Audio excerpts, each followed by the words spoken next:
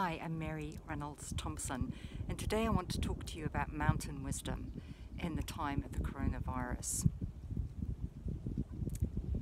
I think there's a very strong sense growing amongst many of us that we don't want the world that we re-emerge into to look the same as the world in which we, you know, went under shelter in place and lockdown. Um, so that means that even though we're perhaps more isolated, um, quieter in our lives, you know, less busy in many ways, we can still be feeling a tremendous sense of restlessness and discontent and a sense of things stirring deep within us. And this is very much mountain energy. So mountains get formed out of eruption and friction and collision. And so there's a sense that if we really want to remake this world, that we need to allow ourselves to feel that hot-bellied fierceness that says this isn't right, I don't like the way things are, I want to take a stand for something different. And yet, we can shame ourselves for feeling negative thoughts, right? We say, oh, you know, we look around and there's so much suffering. People are dying and people are getting sick and people are losing their livelihoods. And so oftentimes we think, ah, you know, we, we're not entitled to feel anything other than grateful. And it's okay and it's good to feel grateful.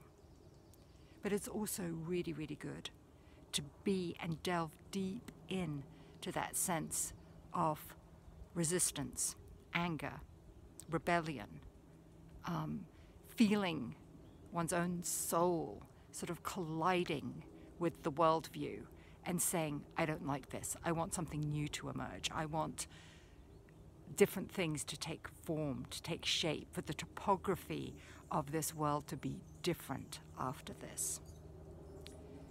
So mountain energy is an invitation to go deep into your sense of restlessness and get curious about it. And that restlessness can be really a divine discontent.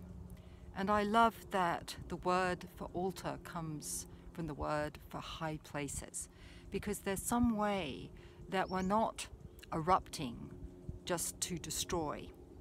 That's we know how to do that, right? We've all done it. Um, this is creative destruction.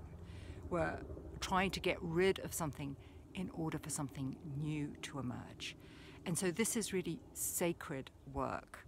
Your divine discontent is needed if we are going to reshape this world into one in which we care for this planet and each other.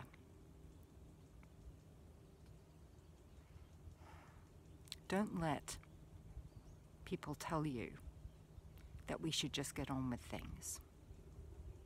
Don't let people tell you we just need to get back to normal.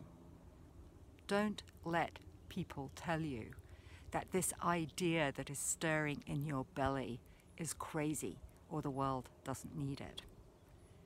Be with it. Have the courage to get vulnerable with it, to push it out in the world, to, to like a mountain, stand tall. And I just want to end, if possible, by taking you to my Mount Tamalpais, which is behind me. You're going to hear the crackling of the leaves. And I want to show you because she is a feminine mountain. She is full-bodied, but still incredibly, incredibly beautiful and powerful and strong. And I hope that you can see her there in the background because she dominates my home of Marin County and reminds me every day what it is to stand tall in this world. I'm Mary Reynolds Thompson. I'm author of Reclaiming the Wild Soul and founder of Live Your Wild Soul Story. I remembered that. and I'll see you next time in the grasslands.